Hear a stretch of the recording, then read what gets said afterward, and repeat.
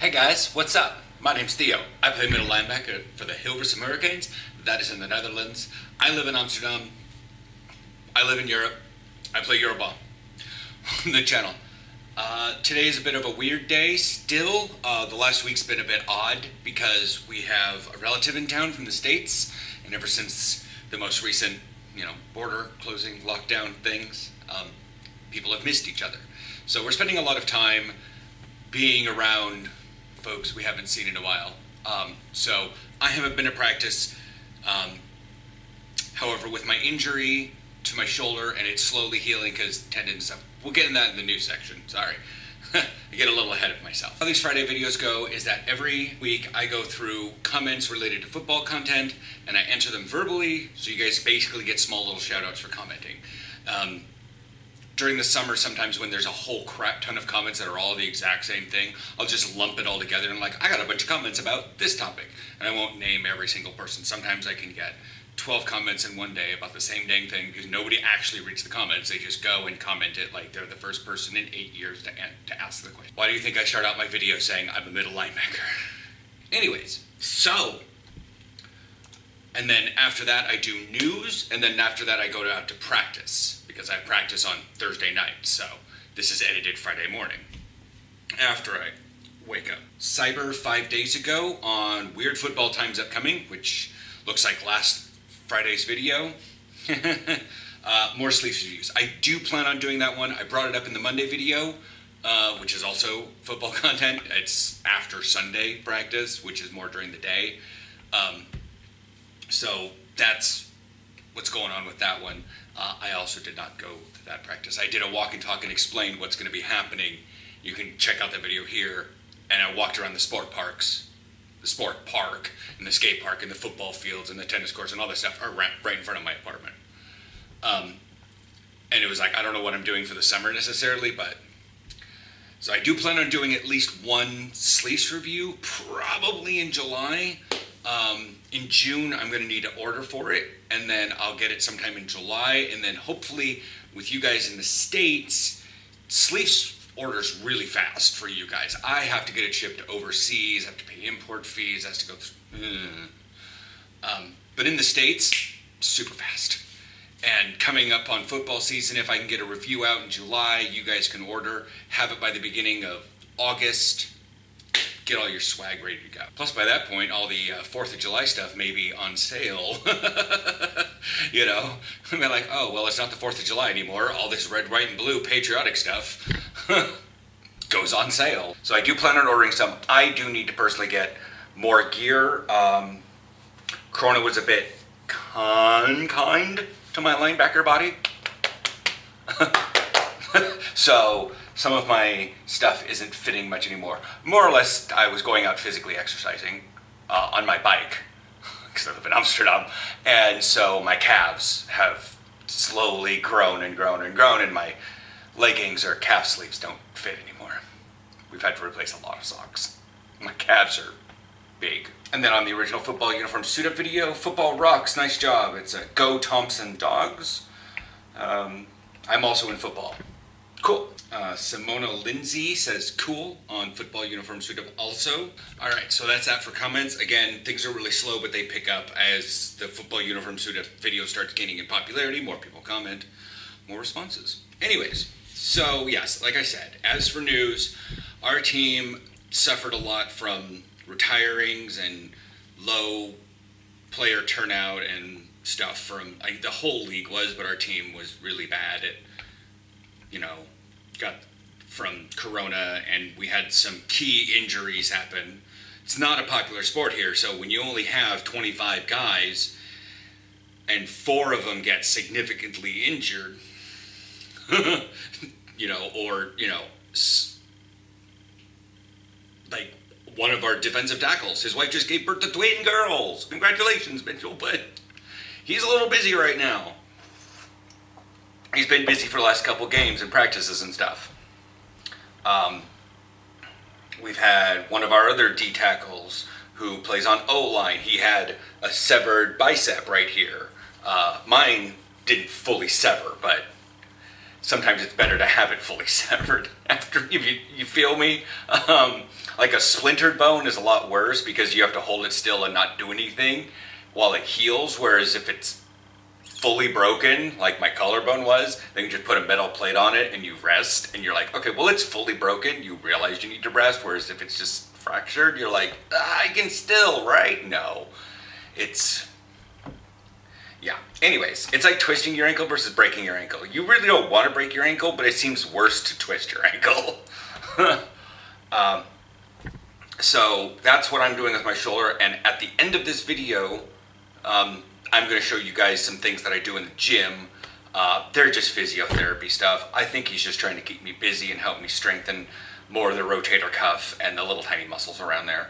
Um, but anyway, so the next game that's coming up is on June 5. So the 6th of June on this channel will be a game day vlog. That will be a home game against Rotterdam, which was the last game I played in um, on their home field in Rotterdam. And then we had another game which was doubled up. There was a Sunday game against Arnhem and then a Saturday game against the Limburg Shotguns, and it was just like, fudge.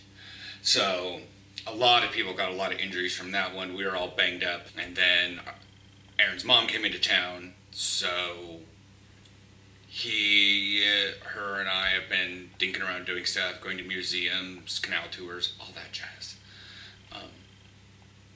Experiencing ethnic foods from Suriname. Anyways, that's not part of the video, but that's what's been going on. And so this is pre-recorded. Um, and I'm also, like I said, I'm going to be going to the gym. Okay, so this next game is still basically to get rookies more game time experience. Um, I did talk to my physio on Saturday uh, before last, and he did say I probably shouldn't play the game because it's one of those that's like my I'm going up, up, up, up, up, up, up, you know, and like according to the screen, it's like this is fully breaking it. This is kind of where I was, and I'm like, things kind of hurt for a while, and then I built it back up, and I'm like, here. If I play a game or do anything terrible at practice and cause an injury, I could go back to here. And then suddenly, that's like June, and all this little bit can be just completely negated, and I'm back to the stupid physios rather than the actual strength training that I'm at now. Light work, but still works. So if I don't play the game and continue, I could probably finish the physio by the end of June and then fully get back to practices when we start after the summer break. Fun times. So, that's my executive decision. It sucks, but I missed a whole season because I broke a collarbone. Um, thankfully that I miss games and miss seasons because of stuff that happens in football, not from life getting in the way per se. like, you know, oh, I'm sorry, I can't play this game. I broke my collarbone falling off my bike.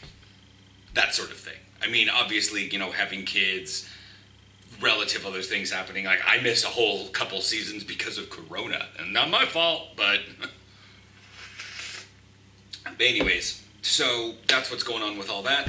Uh, like I said, I'm going to be heading to the gym, and we're just going to show little things that I do with you know, strengthening the intricate things from like, because the supraspinatus, the one that kind of comes in from the back underneath this little hard bone and pulls on the outside, that had a slight tear on it. So I'm doing a lot of this crap. And then right in here, the bicepsis tendon got a partial tear. So we've been helping that heal. And now I'm like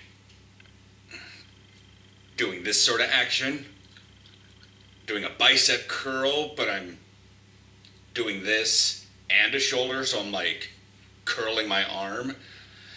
It's awkward. They're fun. I'll show you guys in the gym, uh, but I won't be going to practice tonight because we have a dinner date at a nice restaurant.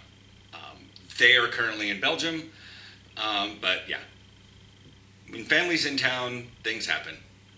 It's not my job, it's a hobby, and family comes first. So anyways, I'm to head out to the gym and record some of this stuff and you guys can see that stuff. If you have any questions about linebacker stuff or any questions about my gear or anything, go and ask in the comments below. Sunday will be, or Monday's video will be a football video. I am going to practice um, just because I need to have socialization. And they probably want to sleep in. and if I can leave at like 8.30 in the morning and 9 o'clock and head out to practice and at least do some physical exercise with the guys, it's fun. I don't need to contact, but, you know, we're getting back to normal, but I've had a, we've had guests in town. So, I'll chat with you guys at the gym. A few moments later. I'm so sorry, guys. I just got everything ready to go. I have my backpack packed, and I realized that it is a strange holiday. Sorry for this interruption. the gym is closing by 4 o'clock. It is. Just, I should have known something was up. It's a Thursday, and there's this many people out at the skate park. People are on vacation. People aren't in school today. People are having their festival. Um, yeah, the gym is closing.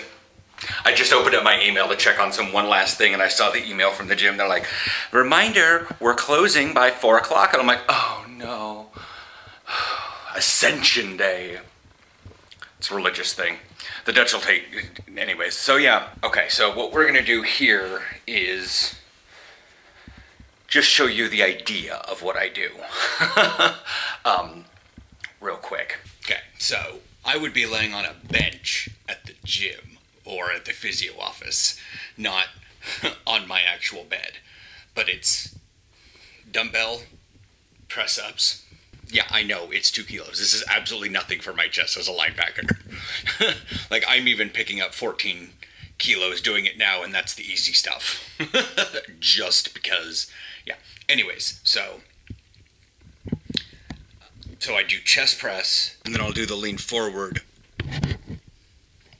pull up, row.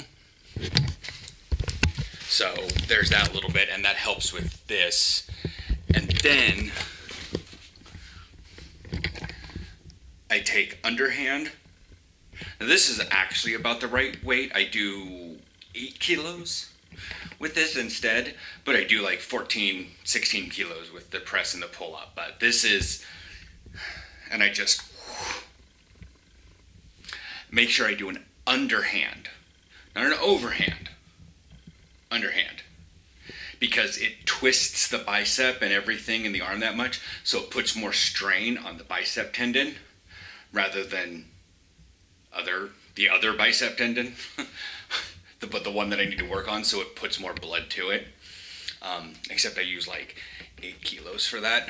Um, and then before bed every night, I do I wrap my bands around the guard outside, and I do.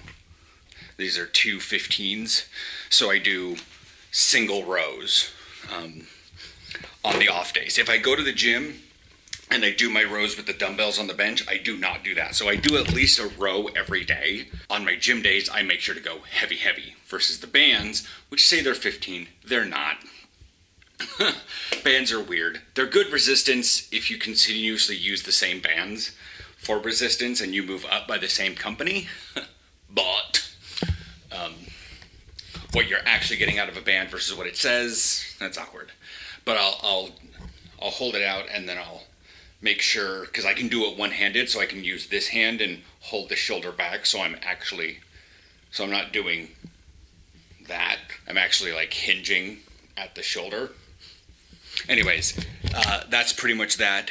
Um, and then I'll also do military press with like 10 kilos. Again, I'm having to build back, not so much with this arm, but with this shoulder and we're we're hoping that by next summer 2022 2023 season we can all come back we can be versed in football we can be rested and healed and we can stomp the afbn anyways i will catch you guys on sunday again i will actually be out at practice um, and we will get at least some football film and we will talk to other people and i will get to socialize and talk about the args of meeting my schoonmoeder. Schoonmoeder is what they call it. I keep saying that because I'm like, if I say mother-in-law, they're like, huh, what? Your stepmother? I'm like, no, schoonmoeder. Ooh. One of the things about living abroad, sometimes they don't really understand the English term, so you have to use the local term. Why is it clean, mother? I have no idea, but they know what I'm talking about.